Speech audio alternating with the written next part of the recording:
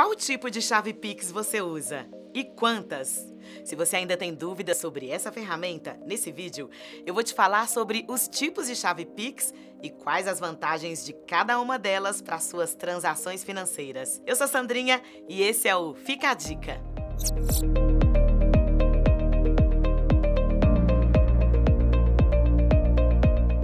Receber mais informações importantes para a sua vida financeira, já se inscreve no canal. Implementado oficialmente em 2020, o Pix revolucionou a forma como fazemos pagamentos e transferências, tornando tudo mais rápido e acessível.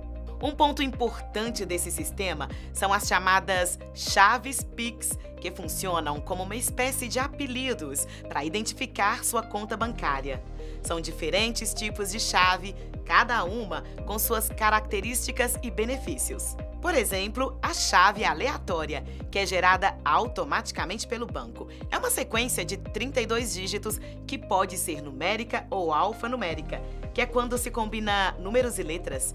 Você pode usar essa chave quantas vezes quiser ou pode excluir e gerar uma nova. Ela oferece maior privacidade, já que não está vinculada a informações pessoais ideal para quem busca uma camada extra de segurança. Você também pode optar pelo seu endereço de e-mail como chave Pix. Essa chave simplifica o processo de pagamento e transferência e torna mais fácil a identificação do destinatário. Além disso, é fácil de lembrar e compartilhar. O número da sua linha telefônica também pode se tornar sua chave Pix. Nesse caso, a praticidade é para quem manda, porque associar o número de telefone às transações, além de agilizar os processos, ajuda quem tem dificuldades de decorar números longos. É mais fácil a gente saber o nosso telefone de cor, não é mesmo?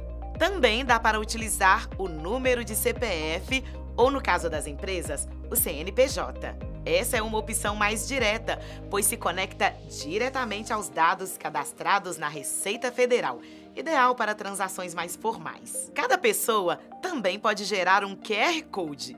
É uma imagem que pode ser feita pelo aplicativo do banco e contém a chave Pix e outras informações. Muito prático para pagamentos presenciais, pois quem paga só precisa escanear o código utilizando a câmera do celular e a transação é feita na hora. Bom, espero que você tenha entendido um pouco mais sobre cada chave Pix e suas vantagens. E antes de escolher sua chave, é importante entender suas necessidades e preferências. Seja por questões de privacidade, praticidade ou formalidade, existe uma opção que se encaixa no seu perfil.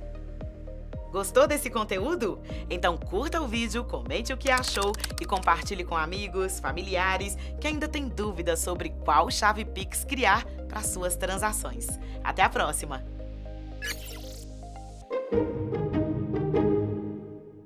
Se você quer aprender ainda mais, então clique nesse cartão que aparece na tela e assista ao vídeo Tudo sobre o Pix com mais informações dessa ferramenta.